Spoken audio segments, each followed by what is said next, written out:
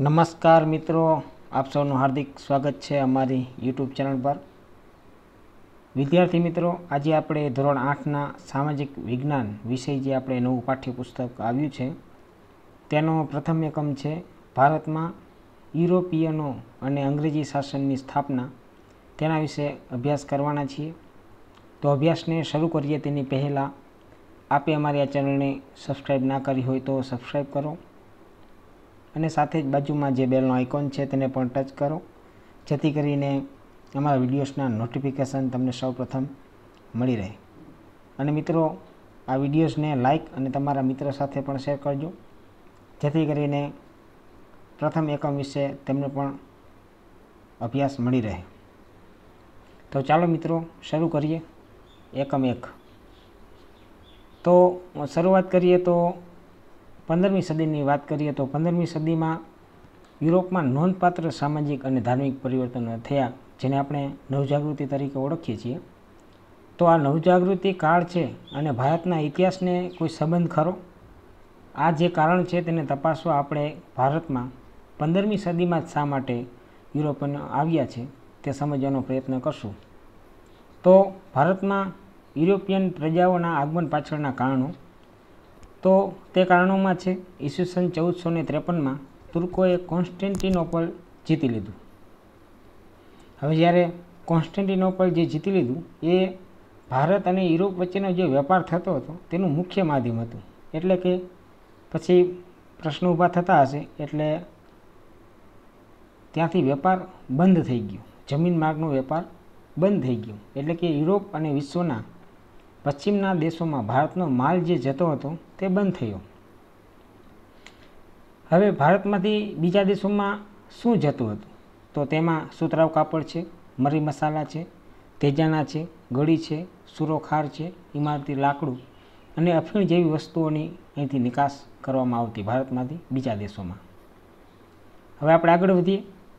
તો આગળના કારણો થોડાક. તો આ વસ્તુઓની નિકાસ બંધ થતાં ભારત સુધી આવવાનો જે જળમાર્ગ છે એ શોધવાની જરૂર ઊભી થઈ. તો ભારતમાં યુરોપિયનોનું આવવાનું કારણ માત્ર વેપાર હતું. આ લોકોનું અહીંયા આવવાનું કારણ માત્ર ને માત્ર વેપાર જ હતું. તો જમીનમાં જળમાર્ગ શોધવા માટે શું થયું? તો કે યુરોપના જે દેશો છે, પોર્ટુગલ છે, સ્પેન છે, હોલેન્ડ છે, આવા રાષ્ટ્રોએ ભારત આવવાનો જળમાર્ગ શોધવા માટે કમર કસી.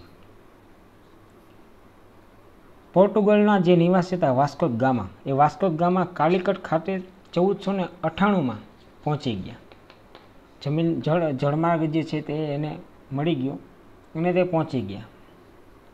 આમ યુરોપિયન પ્રજાનું ભારતમાં આગમન થયું. તેમણે પોર્ટુગલથી આફ્રિકા અને આફ્રિકાથી ભારત આવવાનો જળમાર્ગ શોધી કાઢ્યો. ભારતમાં સૌપ્રથમ પોર્ટુગલ પ્રજા આવી. સૌપ્રથમ કઈ પ્રજા આવી? ઘણા પ્રશ્નો પૂછાશે આમાંથી અને ઘણું બધું આવતું હોય છે.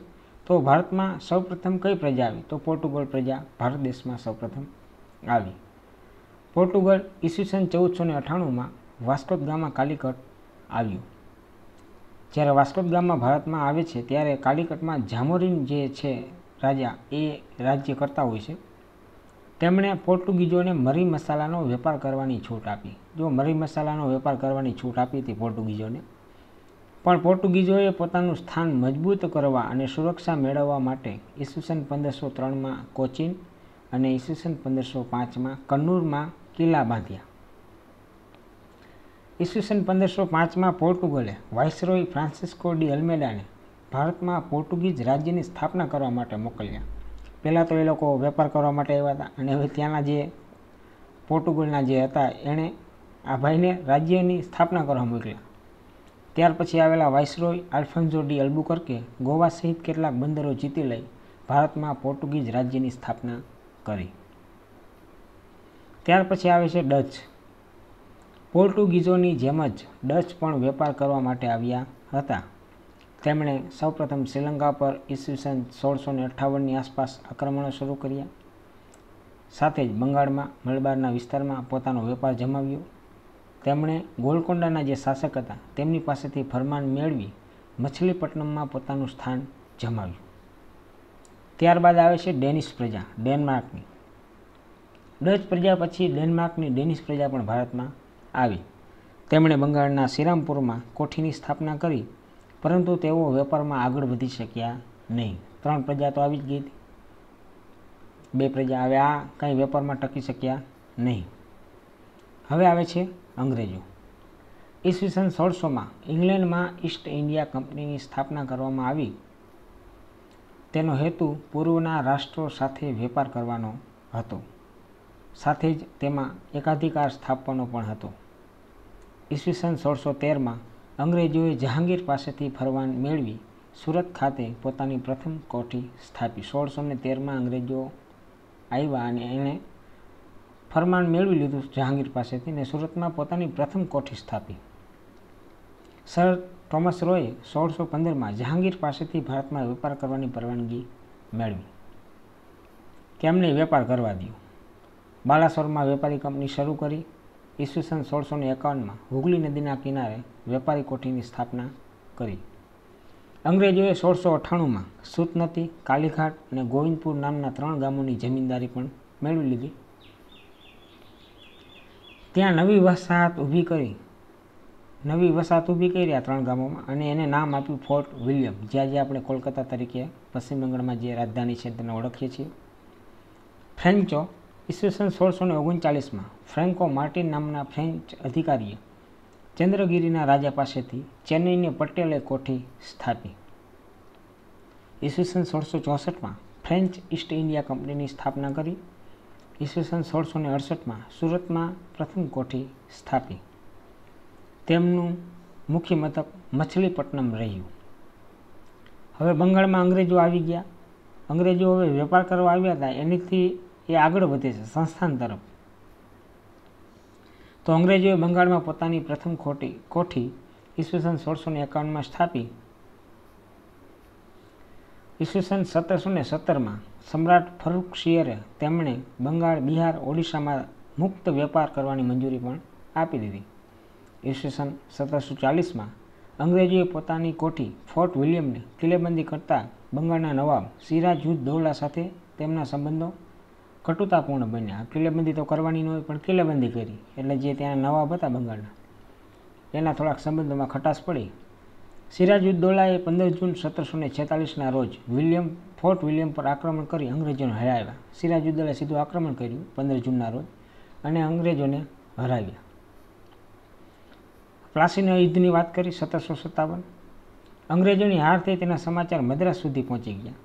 અંગ્રેજોએ બહુ ઝડપથી ક્લાઇવના નેતૃત્વ હેઠળ એક સેનાને મોકલી અને અંગ્રેજોએ સાથે એ કામ પણ કર્યું કે નવાબના જે વિશ્વાસુ માણેકચંદ હતા તેને લાંચ લઈને માણેકચંદે કોલકાતા અંગ્રેજોને સોંપી દીધી અંગ્રેજોએ નવાબના મુખ્ય સેનાપતિ, એના સેનાપતિ હતા મીર જાફર, ને નવાબ બનાવવાનું વચન આપ્યું અને તેનો ટેકો મેળવ્યો, લાલચ આપી એને પણ.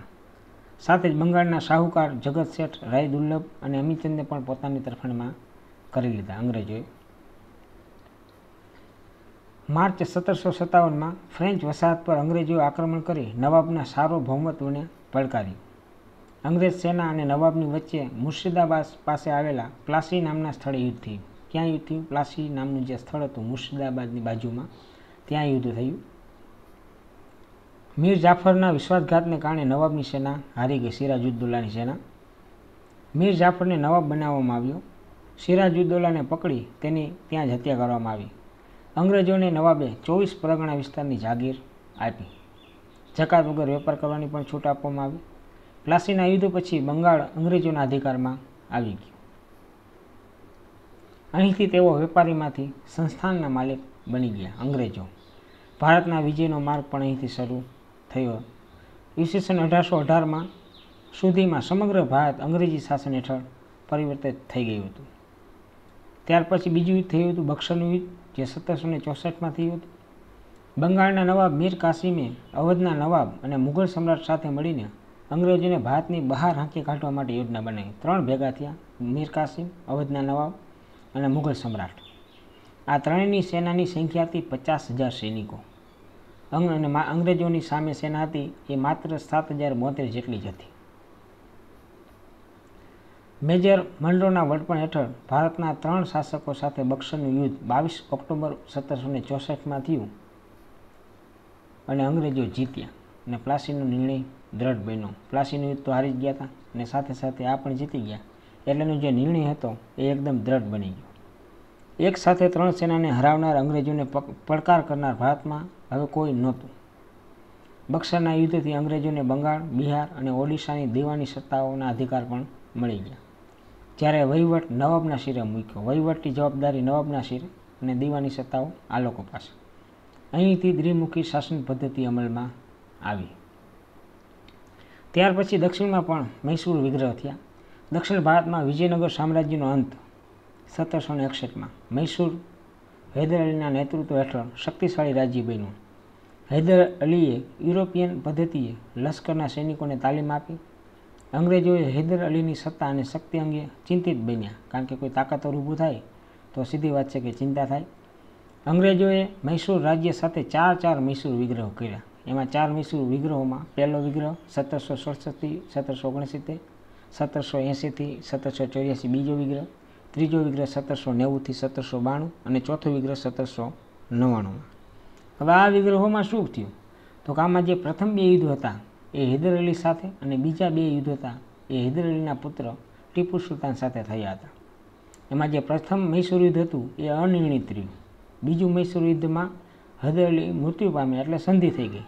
ત્રીજા વિશ્વયુદ્ધમાં, ત્રીજા યુદ્ધમાં ટીપુ સુલતાન હાર્યો અને ચોથા યુદ્ધમાં ટીપુ સુલતાન મૃત્યુ પામ્યો. અંગ્રેજોએ એક શક્તિશાળી શાસકને ખતમ કરી પોતાના સામ્રાજ્યને દ્રઢ બનાવ્યું. અંગ્રેજોએ મૈસૂર રાજ્યના અગાઉના જે વાડી, વાડિયા રાજવંશ હતા તેને સત્તા સોંપી અને સહકારી સંધિ કરી. હવે સાથે જ મરાઠા પણ આવે છે. અઢારમી સદીમાં કંપની મરાઠાની તાકાત તોડવા માટે પ્રયત્નશીલ હતી. ઈસવીસન સત્તરસો ને એકસઠમાં પાણીપતના ત્રીજા યુદ્ધમાં મરાઠાઓની હાર થઈ. મરાઠા અને અંગ્રેજો વચ્ચે કેટલાક યુદ્ધ થયા, જેમાં પ્રથમ યુદ્ધ સત્તરસો પંચોતેરથી સત્તરસો બ્યાસી, સાલબાઈની સંધિ સત્તરસો બ્યાસીમાં, બીજું બીજું યુદ્ધ થયું અઢારસો ત્રણથી અઢારસો પાંચમાં, ત્રીજું યુદ્ધ થયું અઢારસો સત્તરથી અઢારસો ઓગણીસમાં. આમ સંપૂર્ણ ભારતમાં અંગ્રેજોની સત્તા સ્થપાઈ. અંગ્રેજ શાસન અને વહીવટીતંત્ર અંગ્રેજોનું મુખ્ય લક્ષ્ય ભારતનું આર્થિક શોષણ કરી ઇંગ્લેન્ડને ધનવાન બનાવવાનું હતું. એનું મુખ્ય લક્ષ્ય જ આ હતું. તેમનું વહીવટીતંત્ર ભારતીય પ્રજાના કલ્યાણ કરતાં બ્રિટિશ હિતોને સાચવનારું હતું. ત્યાર પછી ઘણા સુધારા પણ કર્યા, જેમાં ગવર્નર જનરલની નિમણૂક કરી અને ગવર્નર જનરલ જે વારા, વારાફરતી આવ્યા, એમાં ગવર્નર કોર્નવોલિસે ભારતમાં સનદી સેવાઓ શરૂ કરી.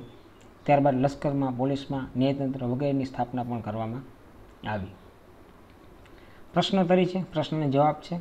એમાં પ્રશ્ન એક છે કે યુરોપના કયા કયા રાષ્ટ્રોએ ભારત આવવાનો જળમાર્ગ શોધવા કમર કસી? તો તેમાં પોર્ટુગલ, સ્પેન, હોલેન્ડ જેવા રાષ્ટ્રોએ ભારત આવવાનો જળમાર્ગ શોધવા માટે કમર કસી. પ્રશ્ન બીજો છે, યુરોપની પ્રજાને ભારતીય મરી મસાલાની ખૂબ આવશ્યકતા સાથી હતી.